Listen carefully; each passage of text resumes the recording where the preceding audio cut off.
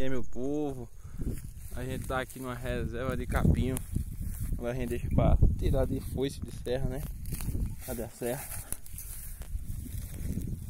Na reserva a gente tira de serra Preserva mais o capim Os bichos não andam dentro, não degrada, né? Com tanta facilidade A gente sempre tem um comezinho pra uma vaca que tá no, uma vaca tá mojada perde pariu, algum animal doente a gente tem algum alimento para dar a eles, para fornecer a eles, para eles ficar mais, mais reservados. Para correr para ali, um calcular e vida que segue, né? Por isso que é bom você ter as canteiras para soltar, mas tem uma reserva como essa. Uma reserva alimentar dessa, você tira um comer para sua rede tranquilamente, mistura com a palma forrageira, olha de elefante, né?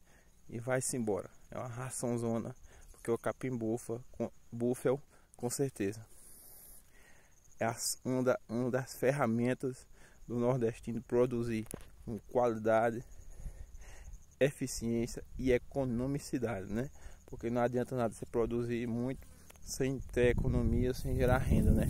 E o capim-bufa tem isso, gera renda, gera cascai no bolso produtor, né? Um alimento a um custo baixo. Você sofre um pouco para instalá-lo, né? Mas depois disso a manutenção dele é muito simples, graças a Deus.